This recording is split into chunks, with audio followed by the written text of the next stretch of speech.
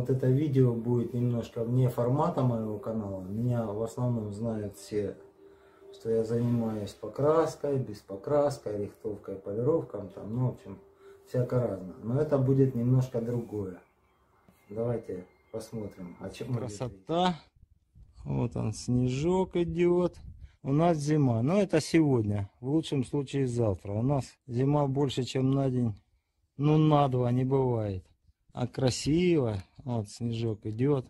Просто красота. Займемся реставрацией коней. Раз в 10 лет я это делаю. У товарища лошадки есть аттракцион. Вот мы их приводим в порядок, чтобы детки катались и радовались. Вот немножко решили заняться коневодством. Это лошадки из парка. Естественно, раз там 7-10 лет их приходится немножко приводить чувства. Где-то подшпаклевать, где-то там какие-то трещинки, где-то там что-то покоробилось, ну и так далее. И вот приводим их в чувство. И вот такой момент. Вот они на таких вот стоят железяках. Мало того, что карусель крутится, они еще вот так катаются на этих железках. В итоге столкнулись с чем? Чтобы снять эту лошадь, тут все просто. Вот диаметром 40 миллиметров штырь, простой, не конусный. И здесь у нас вот она труба, соответственно. И все это так джерджавело, что снять не приходится возможным. Вот этот штырь торчит аж вот сюда, вот болтом подконтривается. Но если с болтом еще как-то можно снять и открутить, то вот отсюда они не хотят сниматься. Там за 5, 7, 10 лет там все закоксовалось. Ее даже вот так вокруг своей оси не провернешь. Что делать? Как всегда, в таких вот неприятных случаях нас выручает микроша. Вот они тут разные насадки. Ну, допустим, когда нам надо прогреть какую-то трубу, допустим, вот такую, мы ее одеваем так. Соответственно, диаметр. Тут диаметры всякие разные под все, там или болтик, гаечку открутить. Вот, у нас есть то, что можно одеть сюда, прогреть. Ну, как мы оденем это все сюда? Как это одеть сюда, если нам это надо снимать? А вот для этого есть другой вариант. Для этого есть вот такой вот гибкий шнурик. То же самое. Мы его берем.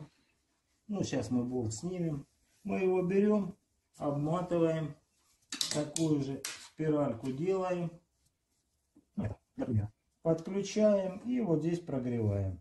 Ну, а теперь приступим уже непосредственно. У нас болтик вот такой. Вот нам его надо выкрутить. Пробуем выкручивать.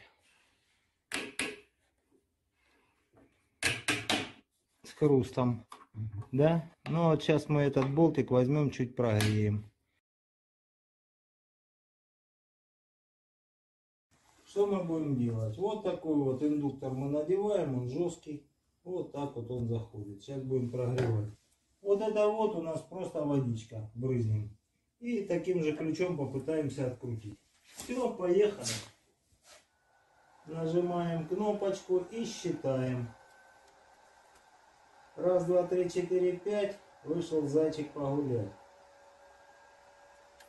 Прогрелась.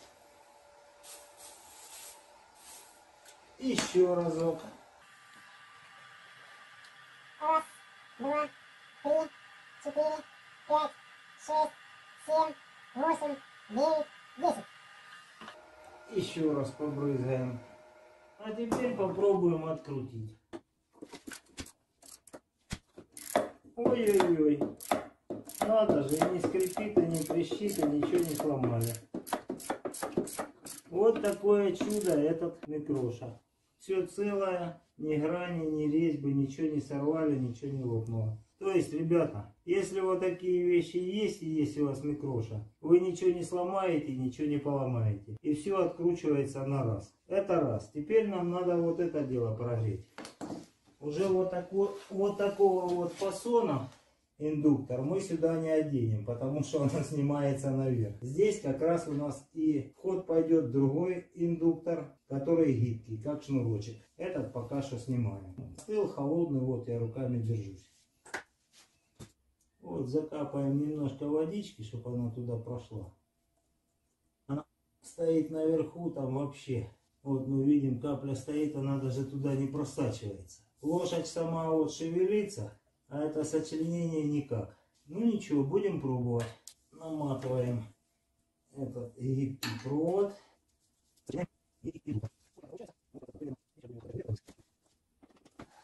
Конечно, прогреть этим маленьким микрошей так, такую трубу тяжелее. Вот такие вещи он на ура, собственно, для этого он и создан. Попробуем. Я думаю, что у нас все получится. Поехали. Вот, и водичка, даже она туда не просачивается. Греем, греем, греем, греем. 20 секунд. Когда будет минута, скажешь. Ну, вот вода так и стоит, даже не просачивается туда. То есть тут все у нас закоксовалось и не хочет не откручиваться, ничего. Вот сколько она на секунд 30-40 прошло, начинает идти дым, труба начинает греться. Опять же, прогреваем мы только вот эту трубу. Вот этот штырь, он особо не прогревается. И здесь все будет целое, ничего не погорит, не поплавится. Это большое преимущество в данном случае начинает краска коробиться на трубе, то есть уже можно было пирометром померить, сколько, сколько. Минута 20. Вот опять наливаем водички, она тут от температуры испарилась. Опять поехали. Включаем прибор и греем.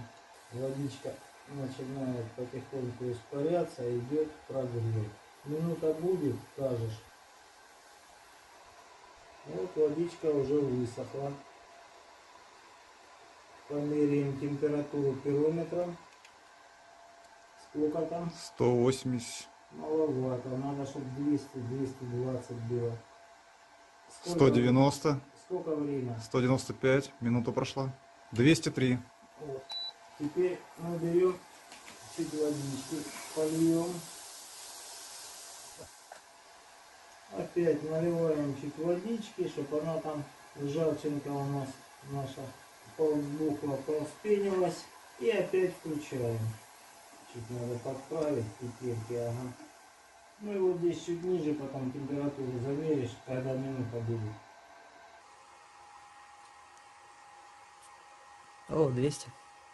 207. Наверное, хватит. Ему шнурок попадает. Выгорает там все. Но опять же, все вокруг вот поснимай. Все целое, греется только вот эта труба. И уже я так смотрю, 318 вверху. нифига себе. И пробуем снять. Да, Опа!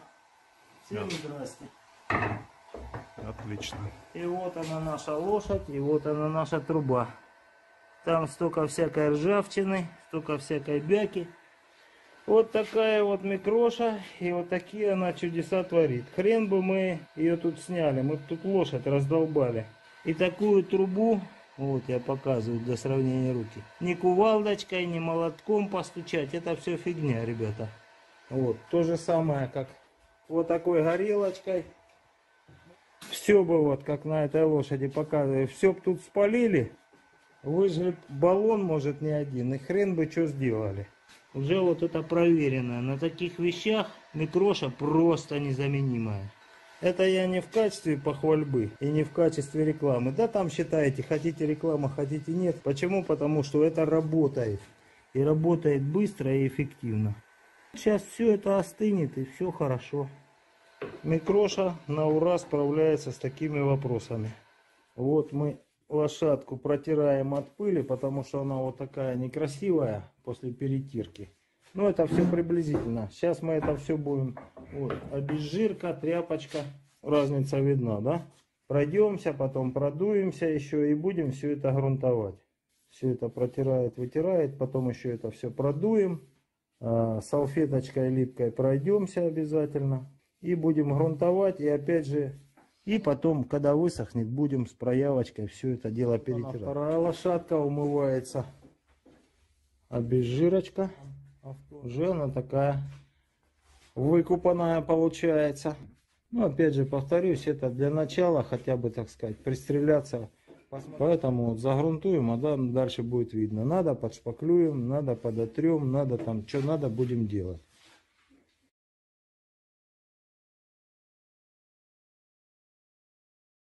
Торжественный момент. Наши лошади на постаменте.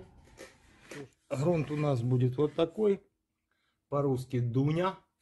Модная красивая тряпочка. Обеспыливаем, обдуваем.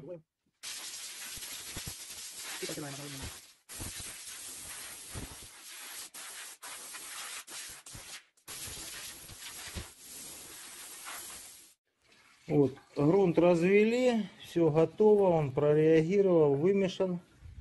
Вот такая у нас температура, на улице холодно, в гараже тепло. Обезжирили, обеспылили. На поверхности лошадок температура 20 градусов, 19,2. Ну, в принципе, нормально. Грубо 20 градусов. Вот будем сейчас грунтовать. Первый слой будет укрывочный, а дальше потом уже будем, когда межслойка пройдет, наливать погуще. Сейчас процедим это дело и будем наносить. Пистолет дюза полторашка у нас. Это мой первый слой укрывочный, так сказать, припыл.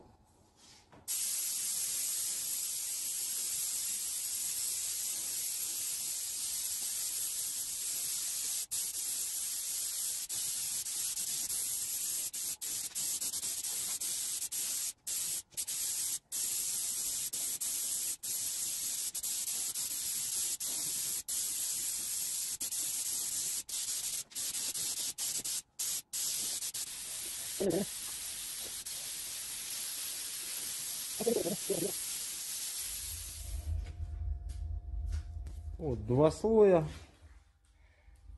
Как раз все косяки видны стали. Ну, допустим, вот это, а не вот это, можно закапать. Вот это надо будет пошпаклевать. Ну и так далее и тому подобное. Сейчас все прекрасно, хорошо видно. Где что так, где что не так. Где что-то пропущено, где что-то надо доработать, как вот, допустим. Вот я всегда так чуть-чуть оставляю грунтовочки. Беру кисточку и вперед.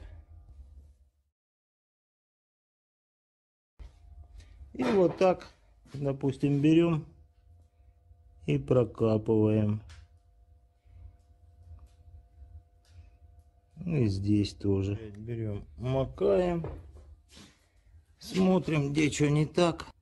А вот такие вот мелочи где-то. Их можно поправить сейчас, а потом даже грунт довольно-таки легко счищается. Сейчас вечер, до утра это все подсохнет. Поэтому, когда перешкурится, будет уже более-менее все аккуратно и хорошо. Ну вот, такими вот мазками, штришками. Вот. Просела, подсохла, опять закапал. Где-то выйдет, где-то не выйдет. В ноль я имею в виду. Ничего страшного, это еще все будет переделываться. Это как бы первый этап. На грубую и теперь уже будет все это приводиться плавно в порядок. Подвыводим. Понятно, что вот это вот надо будет подшпаклевать. Или какие-то зоны ремонта уже как бы перетрутся, все будет нормально. А сейчас еще какие-то маленькие огрехи можно вот так кисточкой из беличачьего хвостика подзалить и они уйдут. Либо станут гораздо меньше.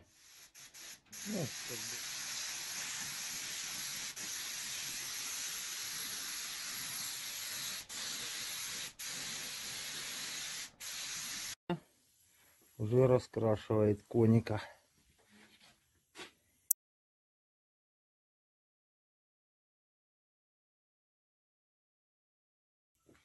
А вот он уже раскрашенный. Красиво, нарядно.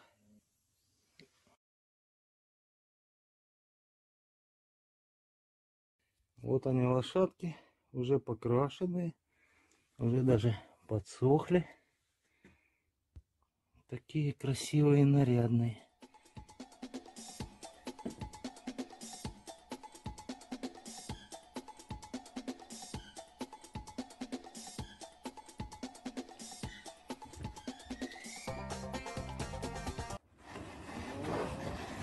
Смалился дядечка.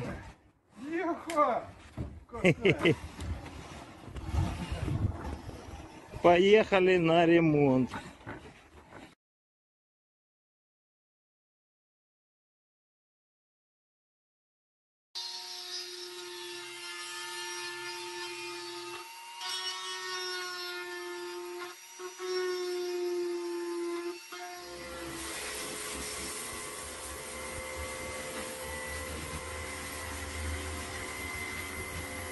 Купание лошадей керхером. Тонкие трещины, стыки. Зашпаклевывать их смысла нет. Вот таким образом напитываем клеем потихонечку. Даю ему время высохнуть.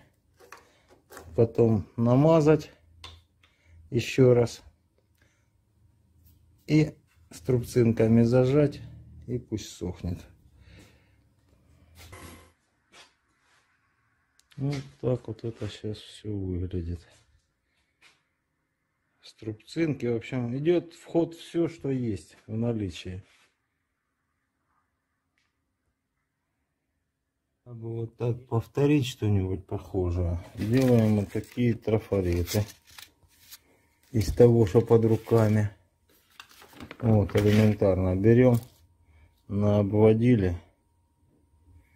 И все, уже можно порезать трафаретик. И что-то вот такое вот наподобие сочинить. Ну, так легко и просто. Буквально там за 10-15 минут можно наделать из подручных средств разнообразных трафаретов, которые уже разнообразят работу. Вот сейчас этих очередную пару лошадей Миша будет раскрашивать. Как, под хохлому или под что? Под гжель. Михаил у нас художник, в отличие от меня. Я художник от слова худо, а он художник от слова нарисовать. Ссылочка там внизу будет под видео на инстаграм Миши. Там очень много красивых работ. Заработай. Ну, красота какая. Лошади яркие получатся, красивые.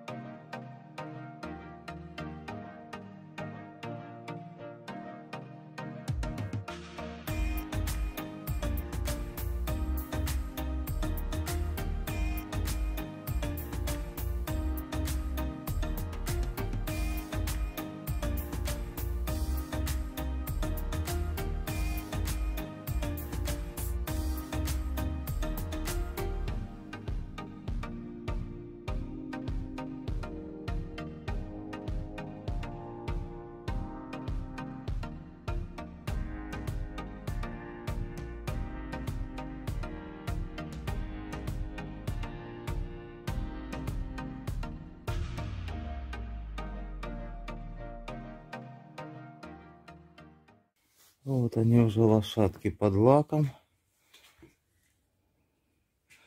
Все блестит. Красота. Красота, тра-та-та.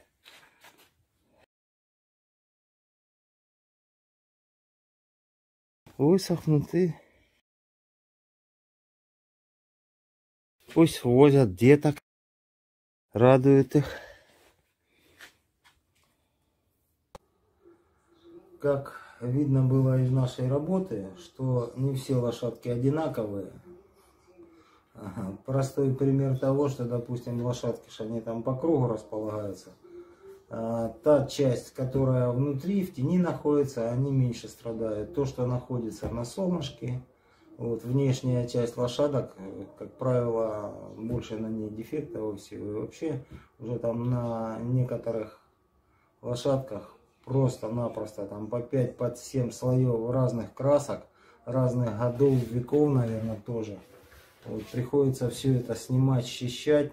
Абразивом счищать это, конечно, очень сложно, тяжело, и расход материалов э, будет огромный.